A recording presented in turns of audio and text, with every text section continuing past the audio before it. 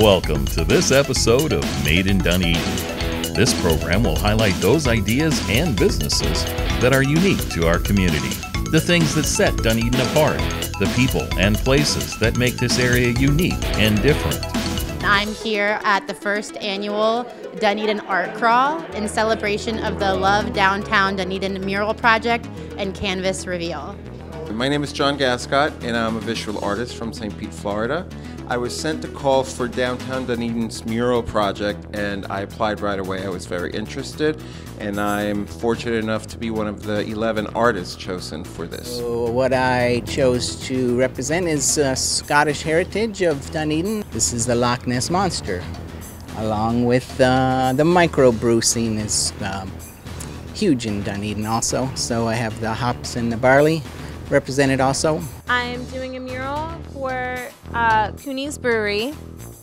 And so basically, I'm doing two hands coming together, and then there's the earth in between it. Um, basically, just to represent how much we need to be there for each other right now to come together. It's definitely a very hard time um, this year and in this world, political. Um, lifestyle wise, uh, movement wise, really just everything in general. And I get involved with the Love Downtown Dunedin art project, which is taking 11 artists from the local community and we've been painting murals around town and celebrating colour and the vibrancy of refreshing downtown Dunedin and beyond. Uh, my particular mural uh, is what I painted at Bon Appetit on the waterfront there. Uh, and I painted a, a, dolphin, the silhouette of a dolphin, and it's jumping up in this, the air, and it's got the sun behind it, and it's got all these beautiful, vibrant colours, and a spoonbill is flying acro across the sky.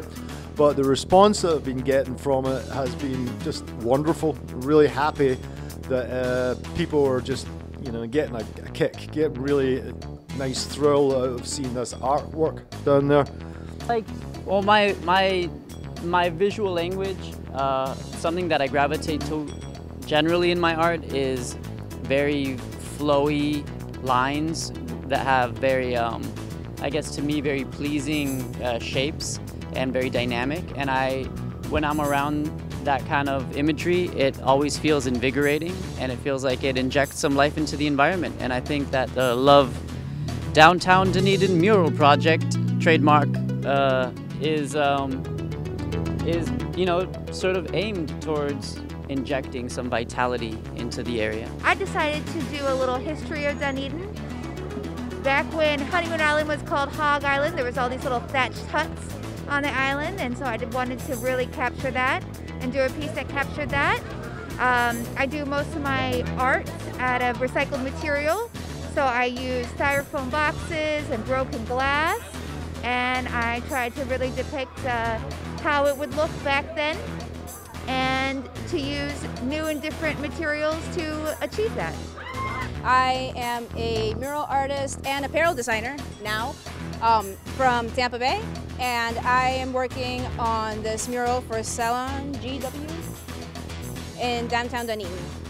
Um, I applied to it, they accepted me, they matched me with this building and the reason why mainly is because these colors actually match my like brand colors and the way that I mainly work, like the colors I normally work in.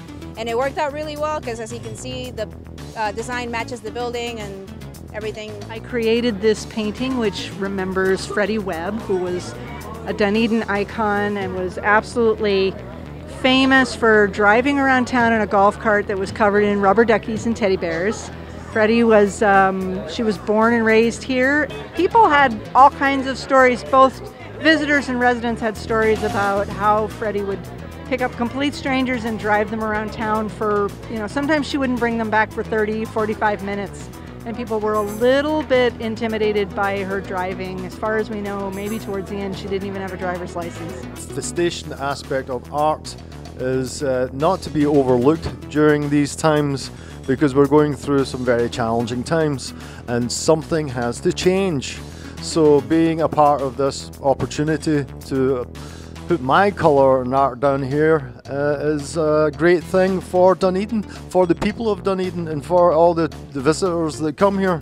Uh, there's nothing but improvements uh, that have been gained for this town with our art. I mean, I think public art is really important because it inspires people, it gets a conversation going, um, it helps people um, realize certain emotions that they feel inside that they might not before. And I, I think that's why public art is so important, so crucial in cities. I think public art is important just because I'm a, a big fan of color and I like the fact that it lets us express ourselves.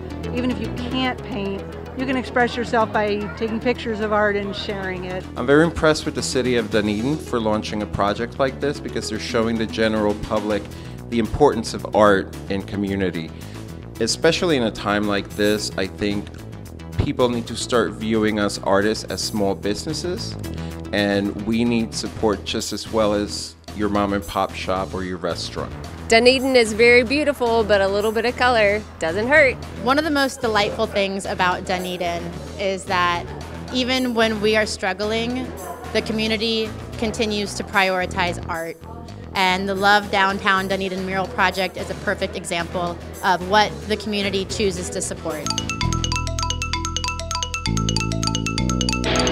The next time you're in downtown Dunedin, make sure to check out these colorful murals. They're made in Dunedin.